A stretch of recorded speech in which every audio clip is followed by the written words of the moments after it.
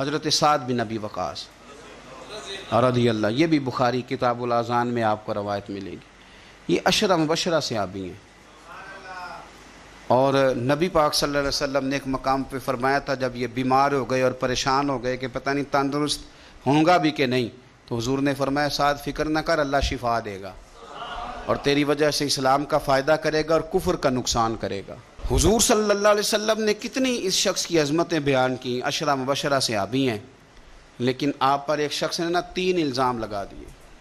लोग बड़े सियाने हैं काबे के अंदर से मिट्टी ले लेके बुत बना लेते। हैं और ये किसी को कैसे माफ़ करेंगे? इन्होंने तो जनाब मरियम सलाम पे भी इल्ज़ाम लगा दिए, हज़रत ईसा की वालदा मरियम पे भी।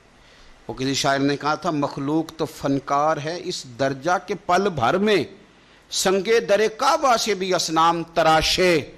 और तुम कौन हो? क्या चीज़ है दागे कुबा भी? लोगों ने तो मरियम पे भी इल्ज़ाम तराशा। ये माफ़ी देते हैं किसी को? बस हो गए, पीछे तो हो गए। तीन इल्ज़ाम हज़रत साद बिन नबी वकास पे लगा दिए। पहला इल्ज़ाम ये लगाया कि हज़रत साद बिन नबी वकास जो हैं, ये माल गनीमत बराबर तकसीम नहीं करते। और दूसरा इल्ज़ाम ये लगाया कि लश्कर इस्लाम को भेज देते हैं, ख़ुद साथ नहीं जाते। और तीसरा इल्ज़ाम ये लगाया कि मुकदमात के फ़ैसले में अदल से काम नहीं लेते। एक ये कि ये लश्कर के साथ खुद नहीं जाते, एक मुकदमात का फ़ैसला अदल से नहीं करते और तीसरा ये कि ये माल गनीमत अदल से तकसीम है। हज़रत साद बिन नबी वकास को बड़ी तकलीफ़ हुई। हाथ उठाए, कहे, अल्लाह, अगर ये झूठा है ना तो इसकी उम्र लंबी कर दे। इसके फ़क्र में इजाफ़ा कर दे। इसे फितनों में मुबतला कर दे। दुआ कर दी, बात ख़त्म हो गई। हज़रत सैदना अब्दुल मलक बिन उमैर ताबी बुज़ुर्ग हैं रदी अल्लाह तु फरमाते हैं, मैंने उस बूढ़े को देखा, जिसके लिए हज़रत साद बिन नबी वकास ने दुआएँ की थी। उसने तीन इल्ज़ाम लगाए तो आपने जवाब में तीन दुआएँ दी।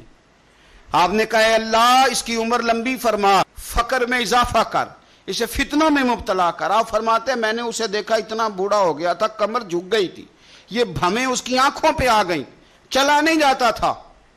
और कभी वो मालदार होता था, पर हज़रत साद भी नबी वकास की दुआ ने इतना पीछा किया कि दर दर की भीख मांगने पे मजबूर हो गया। और बुढ़ापे में भी उसके फितने का ये आलम था कि ज़यीफ हो गया औरत की ख्वाहिश रही नहीं वजूद में, लेकिन फिर भी राह जाती औरत को छेड़ देता था। और यकीनन फिर उसकी वजह से वो मार खाता था चौंकों और चौराहों में। तो लोग उसे कहते थे कि तू इस उम्र में भी बाज नहीं आता तो वो कहता था, मैं तुम्हें क्या बताऊँ? साथ भी नबी वकास की दुआएँ मेरा पीछा करती हैं। वो मैंने उनको तकलीफ़ दी थी तो आज तक मैं फितने में मुबतला हूँ, फितने में।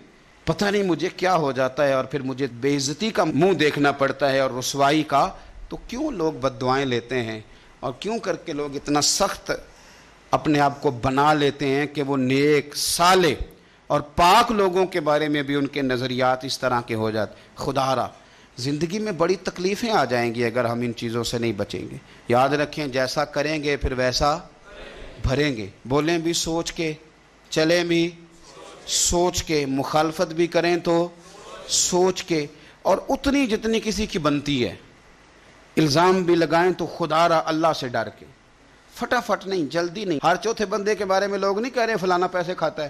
भाई आपने दिए या आप गवाह बने जब वो खा रहा था। आपने ये कैसे बात कर दी? तो हम तेज़ी के साथ इस तरह के अमाल इकट्ठे कर रहे हैं कि जो हमारे लिए अजियत का सबब बनेंगे।